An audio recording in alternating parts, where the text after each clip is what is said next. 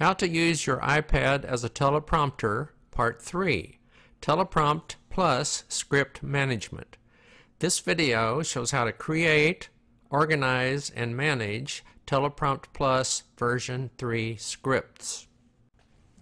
Teleprompt has two modes, prompt mode and edit mode. Prompt mode displays the scrolling prompt text. Edit mode lets you manage prompt scripts and change program options. To switch from prompt to edit mode, press the lower right corner of the screen to show the controls if they're not already visible, then click the X at top right.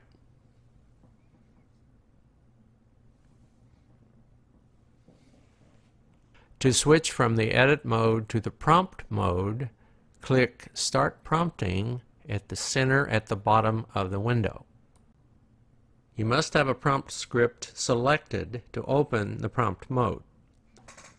Using the edit mode, if you don't see the script management column on the left, drag the edge of the prompt script. Here are the functions to create and manage prompt scripts. For text entry, I'm using the Logitech Bluetooth keypad slash case for the iPad. If you enter text with the on-screen keyboard, you will sometimes have to close the keyboard display to press hidden teleprompt entries. To add a new script group, groups are like folders. Press the Groups button at the top if the groups are not already displayed. Press plus at the bottom of the screen. Type the name of your new group, then press Add Group. To change a group name, display the groups, press Edit, press the name to change, make any necessary changes, then either press Done at the top of the iPad screen or press Return on your keypad. To sort the groups manually, press Groups, press Edit. Drag the symbol at the right of a group to move it in the list.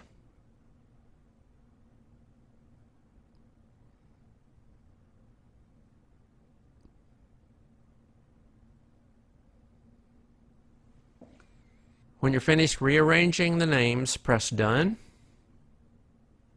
To delete a group, press Edit. Select the group to be deleted. Don't click on the name of the group, click on the icon or to the left of the icon for the group to select it, and selected groups are marked with a check mark. Once you've selected the groups you want to delete, press delete at the bottom, confirm the delete. To move a script from one group to another, display the group containing the script, then press Edit. Select the script or scripts to be moved. Then press Move at the bottom. Select the destination group, and since they were in my scripts, I'll move them to my new group.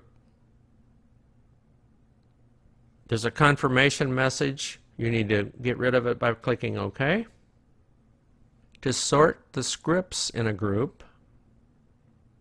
For the manual sort, press the sort icon, select manual if it's not already selected, then press done.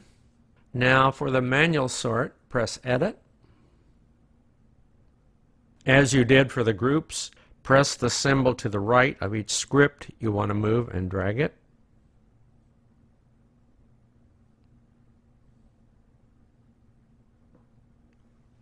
When you're finished rearranging, click Done. For the other types of sort, press the sort symbol.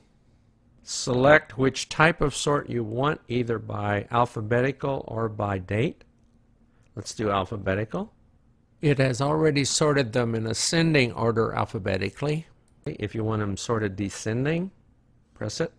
Sorts it instantly. When you're through sorting whatever options you've picked, Click Done. To enter a new script, if you haven't created any groups, you can press the default My Scripts, but I have created a group. So let's look at the group list and let's select my new group. To enter a script for that new group, click plus at the bottom, press the script name field, type the name of the new script, click in the content box, type the content or the prompt text for that new script. When you're finished typing the content, just do something else. There is no save or end edit or anything like that. So anything you do, that stuff gets saved. So let's reveal the script list by dragging. And let's look at my new script. And that is my new script, so it got saved. You didn't have to click anything else after you typed the content of the new script. And by the way, if you're going to create a new script that's long, I recommend creating and editing it on a desktop or laptop and then importing it into teleprompt. To import a script from Dropbox or Google Drive, and I'll use Dropbox, press the import symbol, which is the second from the left at the bottom. Select the source folder, which is the Dropbox. It shows you what's on the Dropbox. You can select which file you want to import.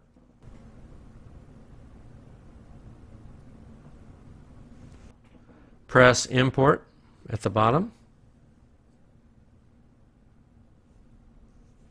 Part 4 script has been imported. Let's select it. To export a script, display the scripts. They are currently displayed.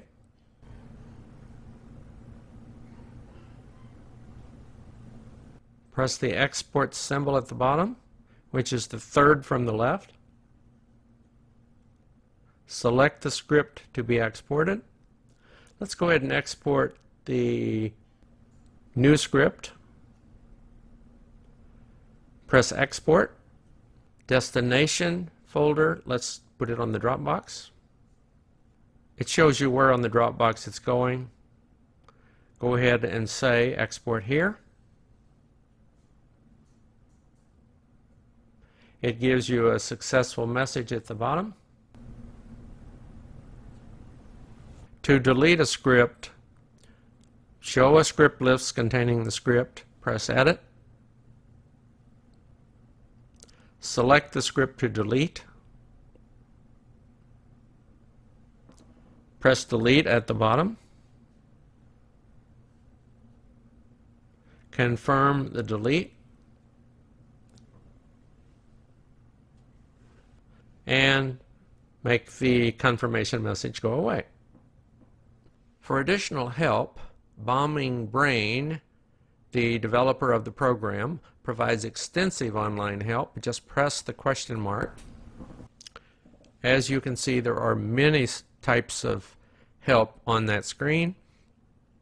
What I really would suggest you do is go to a desktop, go to the Bombing Brain website and download the user's guide for Teleprompt Plus from their website onto your desktop. That way you can read the user's guide on your desktop while you're using Teleprompt on your iPad. Much easier to work that way. If you enjoyed this Tom's Tech Notes video, please like it and leave a comment. To watch my other videos or to read many computer help articles, please visit my YouTube channel or my website at the URLs shown here. There are links in the video description. When thumbnails appear, click the one at upper left to watch other videos in this playlist. Click at lower left to open a related playlist showing how to take photos and videos with DSLRs. Click my photo to visit the Tom's Tech Notes channel. To subscribe, click the red button. If you don't see the red button, hover over my photo to show it.